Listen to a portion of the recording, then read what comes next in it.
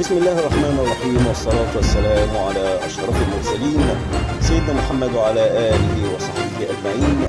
معكم Mr. محمد السيد السلموني من قناة سلموني Trading. النهاردة إن شاء الله معادنا مع المحاضرة السابعة من course التحليل النفسي والسيكولوجي للمتداول. في المحاضرة السابقة طرحنا السؤال التالي كيف نتعرف على أغلب الأخطاء الشائعة عند المتداولين وكيف يمكن علاج هذه الأخطاء وكيف نحقق الاتساق والانسجام بين التحليل الفني والتحليل النفسي للمتداول؟ من أجل تحقيق المكسب وعدم الخسارة. هذا السؤال سؤال كبير جدا ومهم جدا.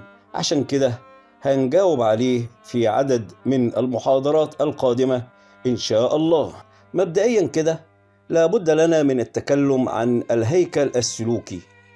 ما هي مكوناته الأساسية؟ حتى نستطيع الوصول إلى جذور المشكلة وبالتالي نستطيع حلها بأسلوب علمي. وهناك ملاحظة هامة جدا وتنويه لا بد منه. قد يعتقد البعض من خلال كلامي أنني متحيز للتحليل النفسي للمتداول على حساب التحليل الفني وهذا اعتقاد خاطئ جدا. فعندما أتكلم عن أهمية التحليل النفسي للمتداول بكلام جاد لا يعني كلامي أن التحليل الفني غير مهم ولكن هذا بالعكس تماما. التحليل الفني مهم جدا ولكن مع ارتباطه بالتحليل النفسي. كل ما أريد توضيحه هو تصحيح الاعتقاد الخاطئ لدى الكثير من المتداولين أن التحليل الفني هو فقط الذي يساعدهم على النجاح وهو الذي يمكنهم فقط من تحقيق الربح وكسب الأموال.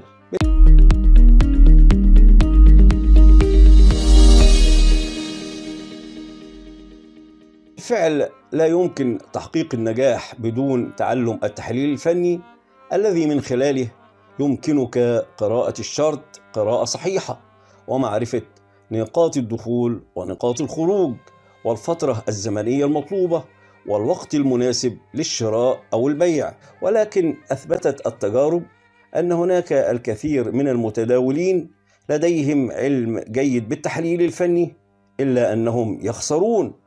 وهنا يأتي دور التحليل النفسي وأهميته. وما أحب أن أركز عليه هنا أنك كمتداول لا تستطيع النجاح من خلال التحليل الفني إلا إذا استعنت أيضا بالتحليل النفسي والذي من خلاله أي من خلال التحليل النفسي يمكنك احتراف التحليل الفني حيث يعلمك التحليل النفسي الانضباط بشكل كامل في دخول الصفقات والخروج منها كما يعلمك إدارة المخاطرة وتحمل المسؤولية. وضبط مشاعرك وانفعالاتك. وكما قلت في البداية إن تعلمك وفهمك للتحليل النفسي للمتداول بجانب التحليل الفني والاستراتيجية الخاصة بك هذا يجعلك تخلق توليفة ناجحة جدا بين نقاط دخول قوية مع إدارة المخاطرة وضبط نفسك ومشاعرك. وهذا هو ما يجعلك في نجاح مستمر في السوق حيث أن كل ثانية في السوق فريدة في نوعها ومختلفة عن الثانية التي قبلها. ويمكنك عمل التحليل النفسي لشخصك من خلال النقاط التالية. رقم واحد ابني نفسك من جديد وتعلم من أخطاء الماضي وعالجها ولا تكررها في الحاضر أو المستقبل. رقم اتنين أعد تعريفك من جديد لطبيعة السوق. وكيف يمكن التعامل مع هذه الطبيعة وأن السوق مش مغارة علي بابا. ذهب وياقوت ومرجان وافتح يا سمسم. ومن خلال هذه الإعادة ستصبح نظرتك للسوق مختلفة تماما عن ذي قبل. رقم ثلاثة هناك مجموعة من الطرق والوسائل والتي سوف نتعلمها في المحاضرات القادمة بإذن الله.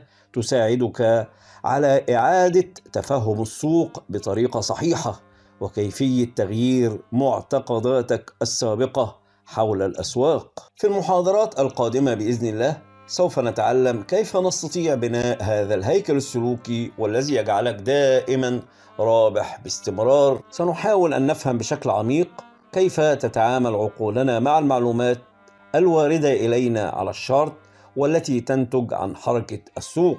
وسنحاول أن نفهم لماذا نتردد كثيرا في دخول صفقة معينة مما ينتج عنه ضياع الكثير من الأموال في ظل أنه كان من الممكن أن تكون هذه الصفقة ناجحة. وناهيك عن الألم العاطفي والحسرة والندامة التي تصيب المتداول بعد ذلك. أما عن الألم العاطفي فهذا هو موضوع المحاضرة القادمة بإذن الله. وإلى أن نلتقي لكم خالص تحياتي. كان معكم مستر محمد السيد السلموني كبير معلم الرياضيات ومحلل فني وسيكولوجي في سوق المال والأعمال. وفي النهاية أذكركم بحديث رسول الله صلى الله عليه وسلم لو أنكم توكلتم على الله حق توكله لرزقكم كما يرزق الطير تغدو خماصا وتروح بطانا والسلام عليكم ورحمة الله وبركاته